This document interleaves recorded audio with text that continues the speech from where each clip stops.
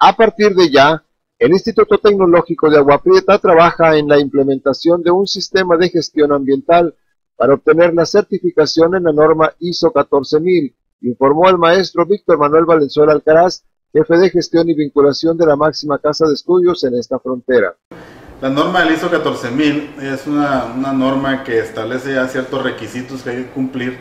para poder decir que nos puedan certificar bajo esta norma y básicamente es la implementación de un sistema de gestión ambiental, pues donde abarca los procedimientos, la política de gestión ambiental, eh, es decir, que todas las actividades como institución que hacemos eh, de alguna manera contribuyan al mejoramiento del medio ambiente y las actividades que hacemos de alguna manera reducir ese impacto negativo al medio ambiente. Te puedo mencionar que,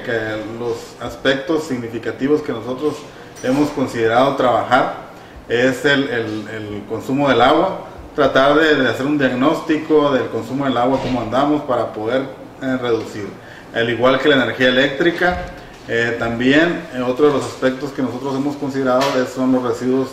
peligrosos y finalmente los residuos sólidos urbanos conocemos como la basura. En cada uno de estos aspectos ambientales significativos vamos a hacer programas, vamos a trabajar enfocados para tratar de reducir o mitigar el impacto hacia el medio ambiente.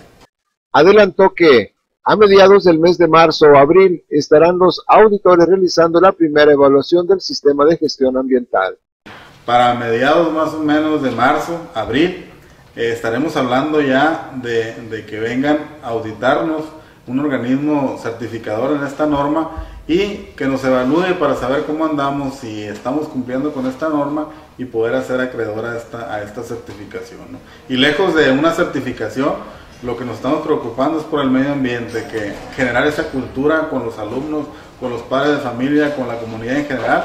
para que, que el medio ambiente, que cada vez más hemos visto lo que, que, nos estamos acabando, pues lo poquito, lo mucho que hagamos nos ayude a contribuir en esto. Y un camino, que hay muchos, es la implementación del ISO 14000 y vamos por eso en el próximo 2012.